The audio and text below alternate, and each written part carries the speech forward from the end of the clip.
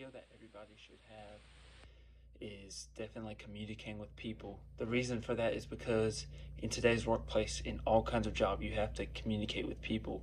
And even outside of your job, in all other areas of your life, you definitely need to find a way to communicate with people, whether it's through, you know, a phone call, email, or most importantly, face to face. You really need to learn how to communicate with people, not just the people that you like, but the difficult ones. That's really the most important because you're always going to have to deal with difficult people. And if you really can't find a way to level with them and see their point of view and kind of like reason with them, then you really will struggle in any work and you probably won't be as successful in life as you would if you are able to communicate with all kinds of people.